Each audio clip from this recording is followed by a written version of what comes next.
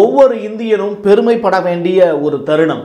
சரியாக இன்று மதியம் ஒன்று பதினைந்து மணி அளவில் ப்ரொபல்ஷன் மாடல் சந்திராயன் த்ரீல இருக்கக்கூடிய அந்த மெட்டீரியலில் இருந்து விக்ரம் லேண்டர் தனியாக பிரிந்து சென்றது நிலவை ஆராய்ச்சி செய்வதற்காக.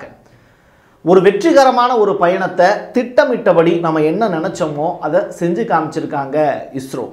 இதற்கு பிறகு நடக்கக்கூடிய விடயங்கள் தான் திக் திக் நிமிடங்கள். இனிமே என்ன நடக்க போகுது அப்படிங்கிற ரிப்போர்ட்டோட இன்னைக்கு நம்ம சிட்டிங்கில் வந்து உட்காந்துருக்கோம் இந்த விக்ரம் லேண்டர் அடுத்து என்ன செய்ய போகுது? ஒவ்வொரு நிமிஷமுமே இனிமே வரக்கூடிய ஆறு நாட்கள் ரொம்ப முக்கியமான நாட்கள். இதுக்கு முன்னாடிலாம் பூமியில் இருந்து நிலவினுடைய அந்த நீள்வட்ட பாதையில் சுற்றி கோழி முட்டை ரவுண்டில் வந்து அது ட்ராவல் பண்ணுச்சுன்னு சொல்லிட்டு ஒவ்வொரு நாளும் அதை பற்றின அப்டேட்டோட வந்து நிற்கிறோமே அது எல்லாமே ஆட்டோமேட்டிக் இப்போது இந்த ஒன்று பதினைந்து மணி அப்படிங்கிறதையே இன்றைக்கி தான் முடிவு பண்ணியிருக்காங்க. இந்த ஒன்று பதினைந்து மணி அப்படிங்கிறது ரொம்ப முக்கியமானது. எந்த நேரத்தில் அதை பிரித்து விடணும் அப்படிங்கிற அந்த டார்கெட் ஸோ அந்த டார்கெட்டில் ஃபஸ்ட்டு ஒரு இனிஷியல் ஸ்டேஜ் நம்ம கிராஸ் பண்ணியிருக்கோம். அடுத்தடுத்து என்னென்ன நடக்க போகுது அப்படி. இனிமேல் எல்லாமே மேனுவல் தான். அதை அந்த விக்ரம் லேண்டருக்கு உள்ளே இருக்கக்கூடிய பிரக்யான எந்த நேரம் வெளியிட விடணும்? ரெண்டாவது இப்போது உங்க தேர்ட்டி கிலோமீட்டர் ரேஞ்சுக்கிட்ட நிலவுக்கிட்ட நிலவு கிட்ட போனதுக்கப்புறம் உள்ளே போனதுக்கப்புறம் இப்போவே வந்து அதனுடைய நீள்வட்ட பாதைக்குள்ளே தான் சுற்றிக்கிட்டு இருக்குது நிலவுக்குள்ளே போனதுக்கப்புறம் அதனுடைய உயரம் வந்து கொஞ்சம் கொஞ்சமாக கம்மி பண்ணி தேர்ட்டி கிலோமீட்டர்ஸ் ஹைட்டில் இருக்கும்போது கொஞ்சம் கொஞ்சமாக அதனுடைய கேமராஸ் வந்து மொத்தம் ரெண்டு வச்சுருக்காங்க அப்படிங்கிறாங்க. அந்த நாலு கால் பகுதியில் இருக்கக்கூடிய ரெண்டு கேமரா வந்து அந்த இடத்துல ஃபிட் பண்ணியிருக்காங்கங்கிறாங்க. அந்த ரெண்டு கேமரா மூலியமாக நிலவில் நிலவில் வந்து கால் பதிக்கும் போது அந்த நாலு சேர் மாதிரி இருக்கு இல்லையா? அது வந்து கால் பதிக்கும் போது அதனுடைய அந்த இடம் குழியாக இருக்கா மேடாக இருக்கா பள்ளமாக இருக்கா அப்படிங்கிறத அந்த கேமரா மூலியமாக தான் கண்டுபிடிச்சி தான் எந்த இடத்துல அதை ஃபிட் பண்ண முடியும் அப்படின்னு. இஸ்ரோவுக்கு ரெண்டு வாய்ப்புகள் இருக்குது ஃபஸ்ட் டைம் லேண்ட் ஆகிறதுக்கான ஒரு வாய்ப்பு செகண்ட் டைம் இந்த இடம் வேண்டாம் அப்படிங்கிறதுனால இன்னொரு இடத்துல போய் லேண்ட் ஆகிறதுக்கான வாய்ப்பு. இந்த ரெண்டு வாய்ப்பு தான் அதுக்கு இருக்கு. ஏன் அப்படின்னா அந்த அளவுக்கு தான் எரிபொருள் அப்படிங்கிறது அந்த இடத்துல ஃபிட் பண்ணி வச்சுருப்பாங்க. ஒரு குறிப்பிட்ட கால அளவுக்கு தான். அதாவது ஆகஸ்ட் இருபத்தி மூன்றாம் தேதி வரைக்கும் தான் கரெக்டாக அதுக்கான ஃபியூயல் வந்து வச்சுருக்காங்க. எரிபொருள் அப்படிங்கிறது. எரிபொருள் தீர்ந்து போச்சு அப்படின்னா சந்திராயன் டூ மாதிரியே இதுவும் ஃபெயிலியர் ஆகிறதுக்கு வாய்ப்பு இருக்குது ஆனால் சந்திராயன் டூவில் ஃபெயிலியர் அப்படின்னு சொல்லி பார்க்கும்போது அது லேண்ட் ஆன இடம் வந்து பார்த்திங்கன்னா பள்ளமாக இருந்ததுனால சரியாக உருண்டோடிருச்சு அதனால நம்ம ரோவரை பிரிக்க முடியல. பிரக்யான்கிற ரோவரை இந்த டைம் வந்து பார்த்திங்கன்னா நமக்கு ஏற்கனவே வந்து அது ஆர்பிட்டரில் சுற்றிக்கிட்டு தான் இருக்குது இன்னமும். அதன் மூலியமாக வந்து நமக்கு கிடைக்கக்கூடிய சிக்னல் மூலியமாகவும் எந்த இடத்துல வந்து லேண்ட் ஆக முடியும் அப்படிங்கிற அந்த தகவல்களை நம்ம கொடுத்துக்கிட்டு தான் இருக்குது சரியா வெள்ளிக்கிழமை மாலை நான்கு மணிக்கு அதனுடைய உயரமும் குறைக்கப்படும் அப்படிங்கிற தகவல் வெளியாகிருக்கு எது? நம்ம விக்ரம் லேண்டர் வந்து சுற்றுது இல்லையா? அதனுடைய உயரம் குறைக்கப்படும். உயரம் குறைக்கப்படும் போது ஒரு ஏற்கனவே சொன்ன மாதிரி தான் அந்த தேர்ட்டி கிலோமீட்டர் ரேஞ்சில் வந்ததுக்கப்புறம் சில டிசிஷன் எடுப்பாங்க அப்படிங்கிறாங்க. இப்போ இந்தியாவுக்கும் அமெரிக்காவுக்கும் இடையில வந்து இருக்கக்கூடிய அந்த கால நேரம்னு ஒன்று இருக்குல்ல. இப்போ இங்கே வந்து பகலாக இருந்ததுன்னா அமெரிக்காவில் இரவு அப்படின்னு சொல்கிறோம் இதுதான் பூமியோட ஸ்ட்ரக்சர் அப்போது நிலவில் வந்து என்ன மாதிரியான ஸ்ட்ரக்சர் இருக்குது அப்படின்னு கேட்டிங்கன்னா ஒரு பகல் ஒரு இரவு அப்படிங்கிறது நிலவில் பதினாலு புள்ளி அஞ்சு நாட்கள் அப்படிங்கிறாங்க. அதாவது கிட்டத்தட்ட பதினைந்து நாட்கள் வந்து பகலாகவும் பதினைந்து நாட்கள் இரவாகவும் இருக்கும். லூனா டுவெண்ட்டி ஃபைவ் அப்படிங்கிறது இந்த டயத்துலேயே ஏன் அவங்க வந்து அப்ளை பண்ணி பார்க்குறாங்க அப்படின்னா நிலவில் எப்போ வெளிச்சம் இருக்கோ அவங்க தென்பகுதியில் எந்த தென் துருவ பகுதியில் எப்போ வெளிச்சம் இருக்கோ அப்போ தான் அவங்களும் லேண்ட் ஆக முடியும். ஸோ ரஷ்யாவும் இதை கால்குலேட் பண்ணி தான் வந்து அவங்க இது பண்ணுறாங்களே தவிர இந்தியாவுக்கு போட்டியாக அவங்க களமிறக்கல குறிப்பாக சொல்லணும் அப்படின்னா இப்போ இப்போ நம்ம வந்து இங்கே இந்தியாவில் ஒரு போட்டி நடக்குது. அமெரிக்காவில் ஒரு போட்டி நடக்குது அப்படின்னு வச்சுக்கோங்களேன். அதுக்கு இதுக்கும் சம்மந்தம் கிடையாது. இது ஒன்றும் வேர்ல்டு வார் கிடையாது. வேற ஒரு கண்ட வேற ஒரு உலகத்தில் நடக்கக்கூடிய ஒரு விஷயத்தை பற்றினா ஒரு சிறிய ஆராய்ச்சி மட்டும்தான். இன்னமும் நிலவில் பற்றின ஒரு பேசிக்கான ஒரு விஷயம் கூட நமக்கு தெரியாது. அதையே சந்திராயன் ஒன்று தான் நிலவில் தண்ணி இருக்குது அப்படிங்கிற விஷயம் அதுவும் பனிக்கட்டி இருக்குது பனிக்கட்டி இருந்துச்சுன்னா அது உருகும் உருகிறதுக்கான வாய்ப்பு இருக்கும்போது தண்ணிங்கிற ஒன்று கிடைக்கும் அப்படிங்கிறது தான் நம்ம சந்திராயன் டூ வந்து ஒன்று வந்து கண்டுபிடிச்சி கொடுத்தது. சந்திராயன் டூ ஃபெயிலியர் அப்படிங்கிற நிலைமையில் இப்படிப்பட்ட சூழ்நிலையில் பதினைந்து நாள் அந்த பகல் அப்படிங்கிற ஒரு கண்டிஷன் இருக்கு. இப்போ பதினஞ்சு நாள் பகல்னு வச்சுக்கோங்களேன் சூரியனுடைய வெளிச்சம் திடுதுப்புன்னு மேகம் வரும். மேகம் வந்து மறைக்கிறதுக்கு வாய்ப்பு இருக்குது அப்போது அந்த இடத்துல என்ன மாதிரியான சுச்சுவேஷன் நிலவில் என்ன மாதிரியான கண்டிஷன் இருக்கும்? அது பகலாக இருந்தாலும் சூரியனுடைய வெளிச்சம் அந்த இடத்துல போதிய அளவு இருக்குமா? சரி இப்போ எல்லாரும் இந்த பகல் இரவு பகல் இரவு அப்படின்னு சொல்கிறாங்க அப்போ இந்த பகல் இரவு அப்படிங்கிற கான்செப்டில் ஒரே ஒரு சின்ன விஷயம் மட்டும் நல்லா யோசிச்சு பாருங்கள் ஒரு குறிப்பிட்ட பகுதி வந்து பகலாக இருக்குது இப்போது இந்த இடத்துல நமக்கு பகலாக இருக்குது அப்படிங்கிற ம- இந்தியாவிலே பகலாக இருக்குது அப்படின்னா இப்போது நான் இருக்கிற ஏரியா சென்னை நீங்கள் இருக்கிற ஏரியா வந்து மதுரைன்னு வச்சுக்கோங்களேன். அப்போது அங்கே மழை பெய்யுது அங்கே வெயில் அடிக்குது அப்படிங்கிற கான்செப்ட் இருக்குது அதே மாதிரி தான் நிலவுலையும் தென் துருவ பகுதியில் பகலாக இருந்தாலும் அதனுடைய காலநிலை அப்படிங்கிறது மாறுபடும். இதை பொறுத்து தான் அங்கே லூனா டுவெண்ட்டி ஃபைவும் கிளம்புறங்க இருக்குது நம்முடைய சந்திராயன் த்ரீயும் கிளம்புறது இருக்குது இப்போது இந்த லூனா டுவெண்ட்டி ஃபைவ் இயற்கையாக வந்து அங்கே வந்து ஒரு டார்ச் லைட் வச்சு அடிக்கக்கூடிய வேலையை செய்ய முடியுமா? இல்லை சந்திராயன் த்ரீ வந்து இருட்டாக இருந்தால் கூட ஏன் வந்து ஒரு டார்ச் லைட் வச்சு வெளிச்சம் பார்த்து அந்த இடத்துல தரையிறக்கக்கூடாது அப்படிங்கிற கேள்வி நிறைய பேர் கேட்டிருந்தாங்க. அதற்கான சூழ்நிலை அப்படிங்கிறது அங்கே இல்லை. ஏன் அப்படின்னா விக்ரம் லேண்டர் அங்கே தரையிறங்கணும்னா பகலில் தான் போய் தரையிறங்கணும் அப்படின்னு சொல்கிறாங்க இவ்வளவு டெக்னாலஜி வச்சுருக்கக்கூடிய லூனா டுவெண்ட்டி ஃபைவ் கூட ஏன் வந்து ஒரு டார்ச் லைட் வச்சு அனுப்பக்கூடாது? எளிமையாக இருட்டாக இருந்தால் கூட அந்த இடத்துல வெளிச்சம் அடிச்சு பார்த்துக்கலாமே அப்படிங்கிற கான்செப்ட்லாம் நிறையா பேர் சொல்லியிருந்தாங்க. ஆனால் இதெல்லாம் இஸ்ரோ யோசிச்சிருப்பாங்கல்ல கண்டிப்பாக ஸோ அந்த கான்செப்ட் அப்படிங்கிறது ஃபெயிலியர் கான்செப்ட் அப்படின்னாலையும் ஒளி மூலியமாக வந்து எளிமையாக வந்து நிலவில் இருக்கக்கூடிய விஷயங்களை கணிக்கிறது அப்படிங்கிறதும் சாத்தியம் இல்லை அப்படிங்கிறதுனால தான் இயற்கையோடு சேர்ந்து அதை ட்ராவல் பண்ணுது. ரெண்டாவது அங்கே இருக்கக்கூடிய குளிர் வந்து ஜாஸ்தி அப்படிங்கிறாங்க. இப்போ நம்ம இந்தியாவில் இருக்கிறதுனால குளிரை பற்றின தாக்கம் அப்படிங்கிறது நமக்கு பெருசாக தெரியாது. இதே நேரத்தில் நம்ம ரஷ்யாவில் இருக்கோம் அப்படின்னா எவ்வளோ தூரம் குளிர் இருக்கும்? அமெரிக்காவில் இருந்தோம் அப்படின்னா எவ்வளோ தூரம் குளிர் இருக்கும்? ஏன் இங்கேருந்து நம்ம டெல்லி போனால் கூட எவ்வளோ குளிர் இருக்குது அதே மாதிரி நிலவில் minus two hundred degree Celsius zero degree Celsius சொல்லலை. Minus two hundred degree Celsius குளிர் இருக்கும். சரி இது மனிதனுக்கே வந்து மைனஸ் டூ டிகிரி செல்சியஸே வந்து தாங்க முடியாது. மைனஸ் டூ ஹண்ட்ரட் டிகிரி செல்சியஸில் நம்மளால் வாழவே முடியாது.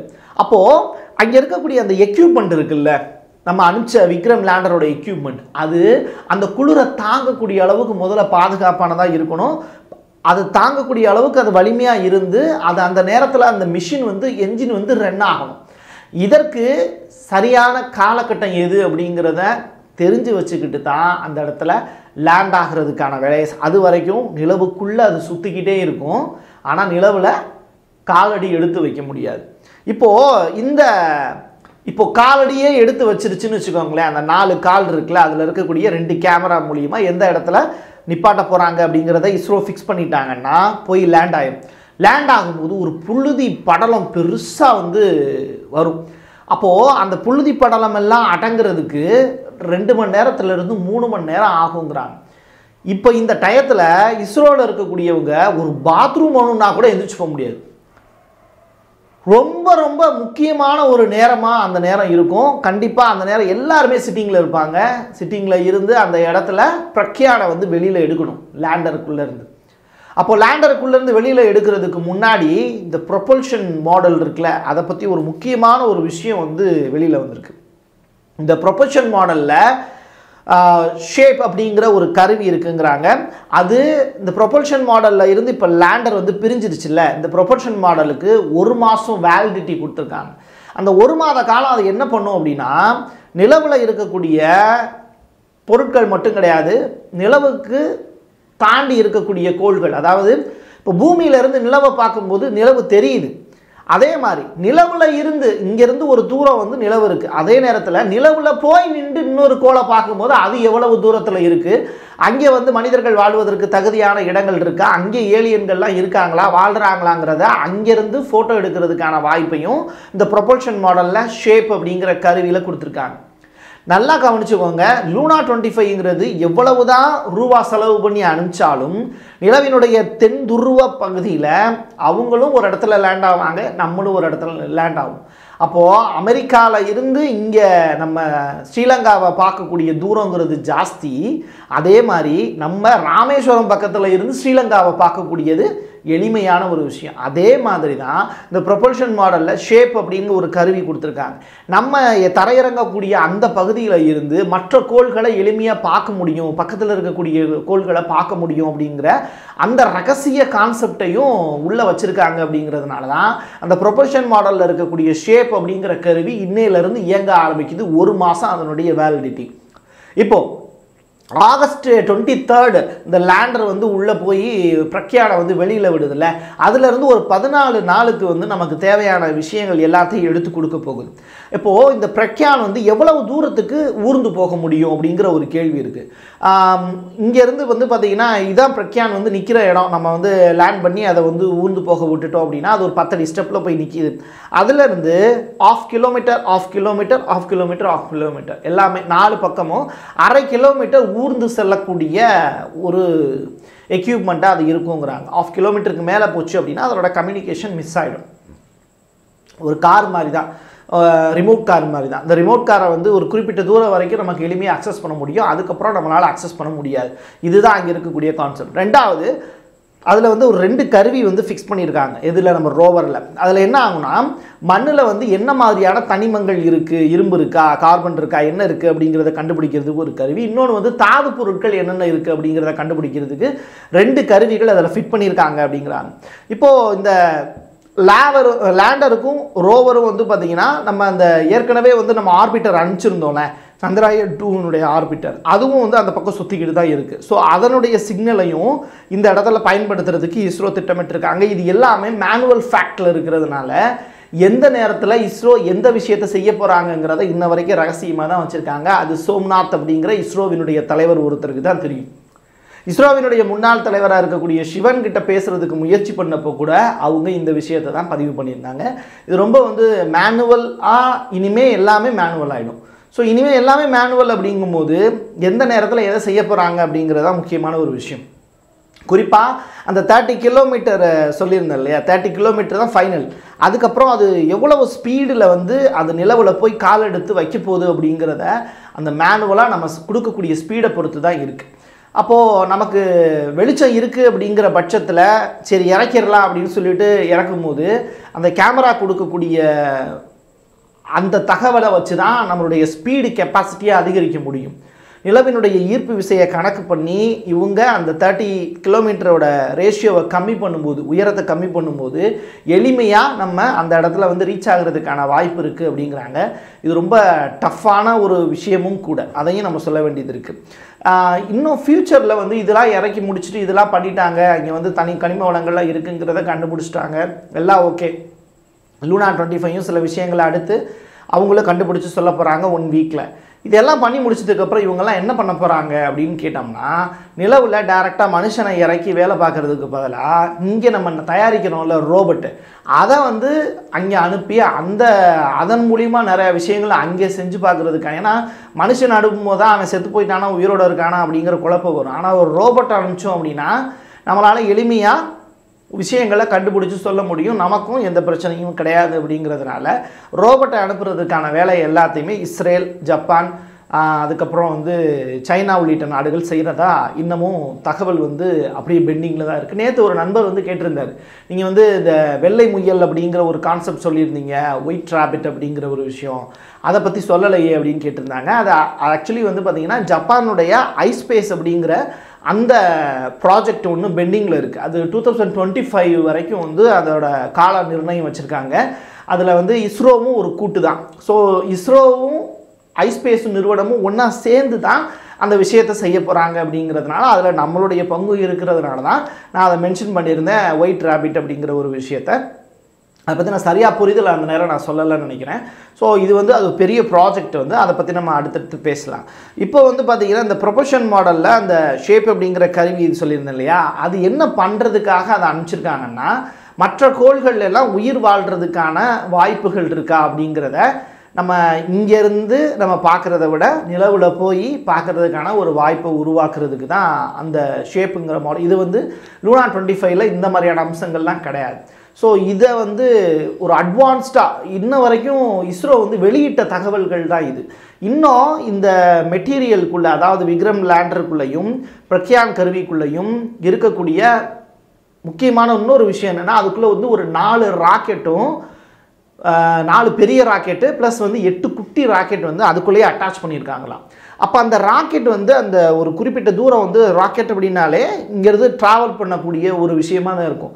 அப்போ அந்த ராக்கெட்டுக்குள்ளே இவங்க என்ன கான்செப்ட் வச்சுருக்காங்க? அதை வச்சு அந்த நிலவில் அந்த பிரக்யான் மூவ் ஆகும்போது அந்த நாலு பெரிய ராக்கெட்டையும் எட்டு குட்டி ராக்கெட்டையும் வச்சு என்ன பண்ண போகிறாங்க அப்படிங்கிறது ரொம்ப சஸ்பென்ஸாக தான் இருக்குது இது சக்ஸஸாக அந்த இடத்துல வந்து ரோவர் போனதுக்கு அப்புறம் தான் அதுக்கடுத்து மேனுவலாக இவங்க சில விஷயங்கள் செய்கிறதுக்கு திட்டமிட்டிருக்காங்க இஸ்ரோ.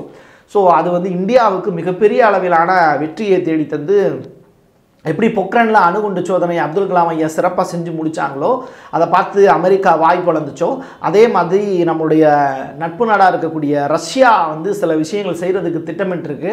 அதுவும் சத்தமில்லாமல் தான் வந்து உலகத்தினுடைய பெரிய ஜாம்பவான் உக்ரைனையே வந்து அடித்து நொறுக்கி தும்சம் பண்ணவர் அப்படிப்பட்ட ஒரு பெரிய ஒரு வல்லாதிக்க சக்தி கொண்ட ரஷ்யாவினுடைய அதிபர் புதின் ஒரு முயற்சி எடுக்கிறாரு அப்படின்னா அவரை சாதாரணமாக நம்ம இடப்பட முடியாது. அவரும் சஸ்பென்ஸாக சில விஷயங்கள் வச்சுருப்பார். அதே மாதிரி தான் நம்முடைய இஸ்ரோவும் இந்த பிரக்யான் அப்படிங்கிறதுல நாலு ராக்கெட்டும் எட்டு குட்டி ராக்கெட்டும் வச்சுருக்காங்க. இதை வச்சு என்ன செய்ய போகிறாங்க அப்படிங்கிறத மேனுவலாக தான் முடிவு பண்ணுவாங்க. அது ரொம்ப சஸ்பென்ஸான விஷயமா தான் இருக்குது ஸோ அந்த பிரக்யான் போய் ஆகஸ்ட் இருபத்தி மூணு அன்னைக்கு இறங்குனதுக்கு பிறகு கிடைக்கக்கூடிய தகவல்கள்ங்கிறது இன்னும் ரொம்ப இன்ட்ரெஸ்டிங்காக இருக்கும். ஸோ சந்திராயன் த்ரீ பற்றிய விஷயங்களை நானும் ஆரம்பத்தில் பார்க்கும்போது ரொம்ப சாதாரணமாக நினச்சேன். படித்து படித்து பார்க்கும்போது ரொம்ப இன்ட்ரெஸ்டிங்கான ஃபேக்ட்ஸ்லாம் நிறையா இருக்குது தொடர்ந்து இது மாதிரியான அப்டேட்டோட மீண்டும் உங்களை சந்திக்கிறேன். என் கையெழுத்து என் மக்களுக்கானது. மீண்டும் ஒரு பதிவில் சந்திக்கலாம். நன்றி வணக்கம்.